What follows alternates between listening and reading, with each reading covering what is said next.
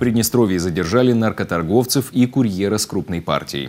Все трое жители Молдовы пытались сбыть запрещенный товар у нас в республике. Теперь всем грозит тюремный срок от 10 лет.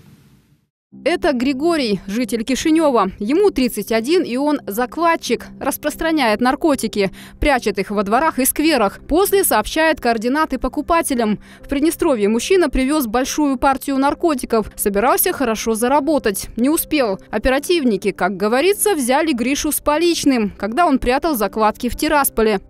Расставлял клады, спрятал клады. И просто хотел уйти в другой.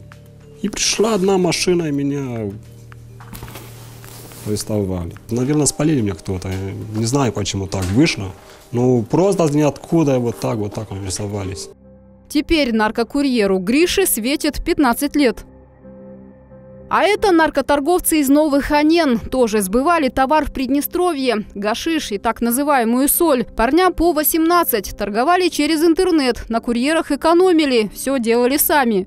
Мне получалось 13 на Еще 10 на Бендеры получалось. Насколько вы успели разложить по тирсу? Я успел штуки три разложить. Взяли наркоторговцев с поличным. При задержании они оказали яростное сопротивление сотрудникам органов внутренних дел, использовали перцовый баллончик, распылили в сторону сотрудника. Сотрудник получил травмы. Но, тем не менее, они были задержаны. За нападение на милиционера одному из них уже светит срок в 10 лет. Плюс оба будут сидеть за торговлю наркотиками. Сколько? Следствие продолжается.